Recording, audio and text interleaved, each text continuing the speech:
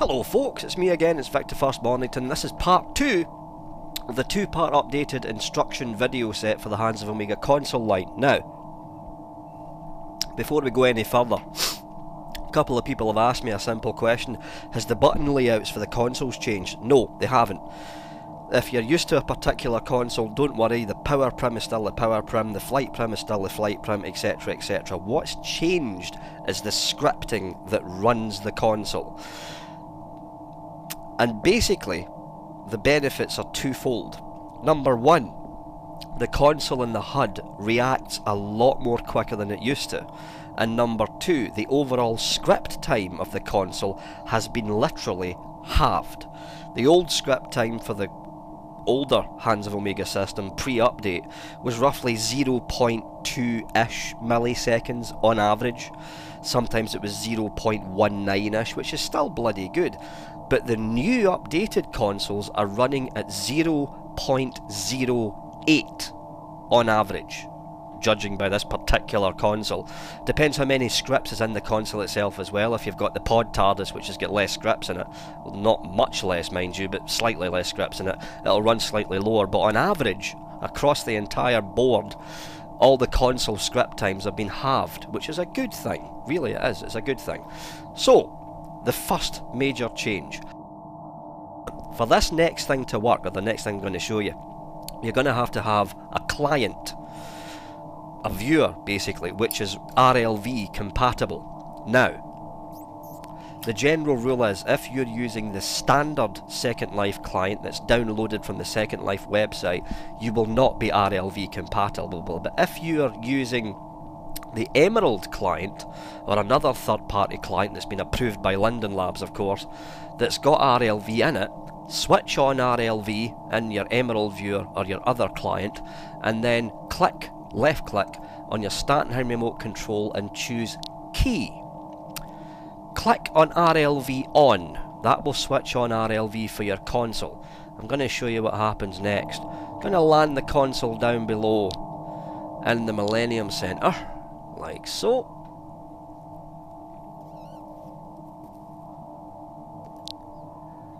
Choose the police box and waiting at landing.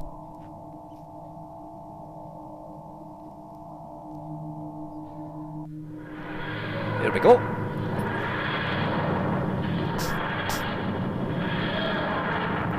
So we've opened the doors. Now originally what you had to do if you had the Stattenheim remote control attached, you walked into the doors and the map popped up in your face. Not really good, you know, you've got to have that kind of imagination in your head of walking through the doors and you immediately land inside the police box and you don't have to press a teleport button on a map. Well guess what, with RLV enabled viewers and RLV switched on in the Stattenheim remote control, you can do this. from the console to the police box with no map pop-up. Absolutely no map pop-up at all. From the police box to the console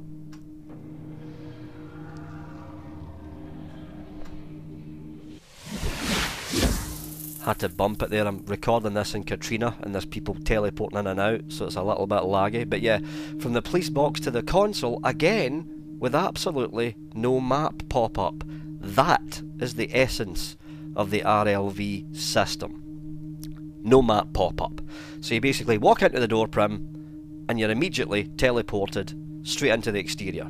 Walk into the exterior and you're immediately teleported, barring lag, straight into the console. That's the first difference or the first addition that's happened to the console system. The next addition is the scanner system, not the scanner screen, which is the big television up there, but the avatar scanner system. On the Pertwee console, it's the grey button right there. So if I click on that, I get the usual options on off, in flight on, in flight off, position and distance. But there's a new one there called parcel info, which is very, very handy. If you click on parcel info, it gives you a quick overview of the permissions that's on the parcel, the prims that are free that's on the parcel, the parcel time, and the parcel wind speed, and the parcel name. It's a little weather report of where you're about to land. Very handy to have, actually. Yeah, very handy to have. The next addition that's happened is the phasing system. Now if you clicked on the key button in your HUD, you'll have noticed two new buttons in there as well, phase on, phase off. This is what the phase system does, but we're going to do it from the console itself. The old HADS or temporal grace button on your console, click on it and you'll notice a new option in there called phase on, phase off. If you click on phase on, this happens. Recognise that sound?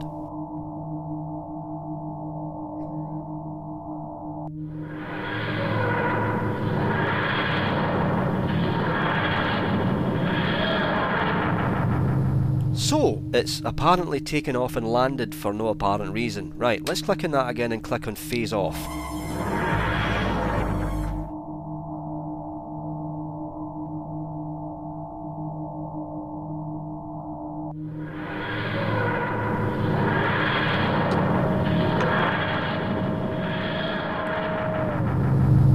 To get an idea of what just happened, we're going to have to head back down to the exterior itself. So, here we are, back downstairs, where the exterior's landed, and what we're going to do, we're going to switch on RLV, or not RLV, we're going to switch on phase from the HUD. So here we go, phase on. That was a quick takeoff, but the exterior is still there. I'm going to right click and edit. And I don't know if you can see this in the video, you probably can't, but the exterior's actually still there. It's just turned invisible, and not only invisible, it's also phantom. So people can walk past this exterior all day long and not even know it's there. To bring it back, click on key, click on phase off, and the exterior's back again. If you want to go undercover in a sim and not let people know you're actually a Time Lord, instead of having to take off and go through all the rigmarole of doing a remote land again, just click phase on and it'll simply hide your exterior. The other subtle difference here, if I open the doors up and come in, hear that? The console hum is now embedded in the police box and it doesn't matter what console you use. The console hum for the Pertwee is different for the console hum for the new series. This police box will play the console hum from your particular police box from your particular console. So that's that bit covered. The next is another little subtle difference that's been added. What I'm going to do here, I'm going to take off, like so.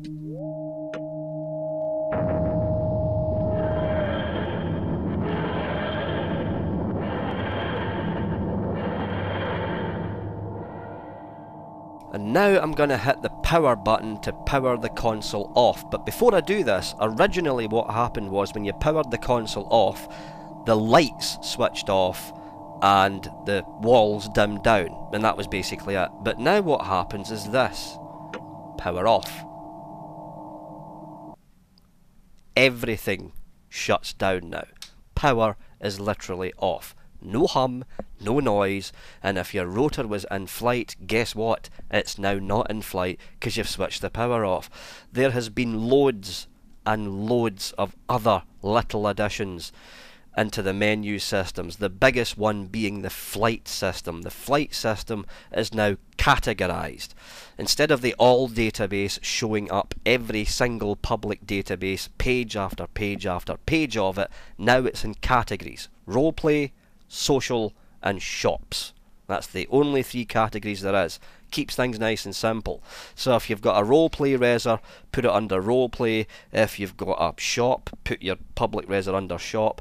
And if you've got a social club, like a club or something like that, put it under social. One word of warning though.